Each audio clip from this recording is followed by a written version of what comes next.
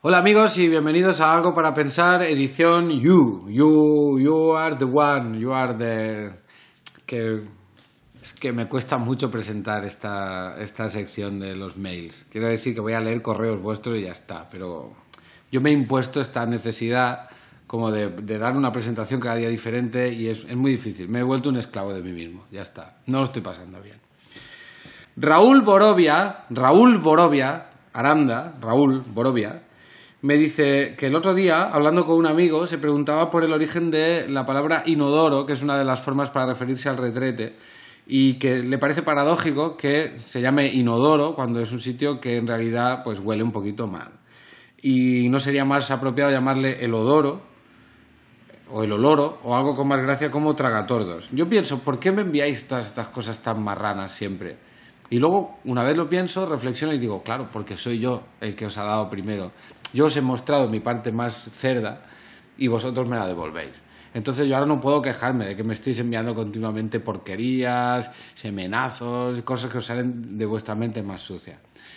¿Qué quiero decir con esto? Que Raúl, Borovia, también te quiero a ti, con tus pequeñas imperfecciones y tus virtudes que seguramente las tendrás. Te quiero porque eres una bonita criatura de Dios.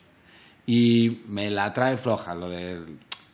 Mientras lo hagas lejos de mí, llámale como quieras, pero... ¿Vale? Asier eh, nos dice, la primera Game Boy de Nintendo supuestamente era de bolsillo, tremendo bolsillo tenías que tener, y después sacaron una Game Boy color, pero fue un truño, pues no hay más color que el blanco y negro, y pienso cuántos caímos en el engaño de Nintendo. Asier, han pasado casi 20 años, vamos a empezar a superarlo ya, ¿vale? Get over it. Juan Capilla me envía un correo cuyo título es eh, Crear un clon y follártelo, incesto o masturbación. Leería el, el mail, pero es que es un poco lo que hace es redundar en esta idea y el título ya es muy bueno. Juan, eh, haz lo que te dé la gana, ¿me entiendes? O sea, si, si estamos, estamos hablando de que para crear un clon Tú sabes la cantidad, la cantidad de curro que hay ahí. Hay que descubrir todo, o sea, la espiral del ADN, hay que saber de, hay, hay que conocer para qué sirve cada gen, eh, eh, tener en cuenta también la epigenética, ¿de acuerdo? O sea, no solo el gen, sino qué utilización se da luego a cada gen y, y hay, que, hay que conseguir que ese clon salga adelante con los problemas que puede llevar, ¿sabes? Que no haya malformaciones y tal. Y una vez lo has conseguido, después de todo ese largo viaje, por ese camino pedregoso que ha sido eh, la, la creación de un nuevo ser, ¿no? A partir de otro, un clon, ¿en serio te lo vas a follar? En serio, todo eso, el trabajo de toda una vida y de un gran equipo de investigadores, lo vas a pillar y le vas a decir, ahora ponte mirando para allá que te voy a emboquillar. Juan, eh, personas como tú me sorprendéis y me hacéis dudar de, muchas cosas. Otras, de otras me dais... Juan, no, no, no quiero hablar más contigo, ¿de acuerdo? No quiero, no quiero que escribas más tampoco. No, no quiero saber nada más de ti. Nuestros caminos se separan en este momento, Juan. Hostias. Carlos Arteaga dice lo siguiente. Buenas, Berto. Me gustaría que comentaras esta frase que llevo escuchando toda mi vida y aún no le he encontrado sentido. Se lo he preguntado incluso a mi profesor de filosofía y es, no le busques los tres pies al gato. La cuestión es que si los buscas se los vas a encontrar y no tendría ningún sentido decirla. ¿No sería más normal decir no le busques los cinco pies al gato?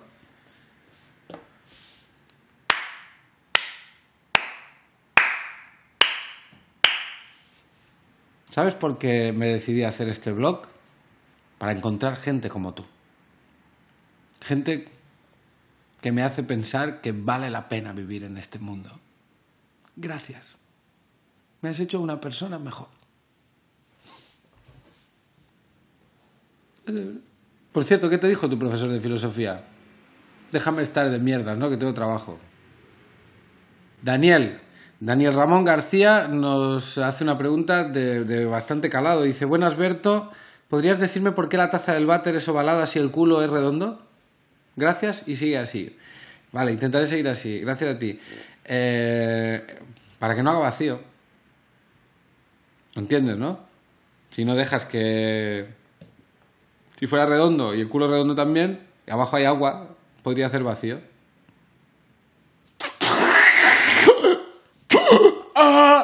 Para que no haga eso. O, en su defecto, podrías al tú petardear, llenarse aquello de gas y una pequeña chispa, un... hacer que explotara. Siempre necesita una ventilación.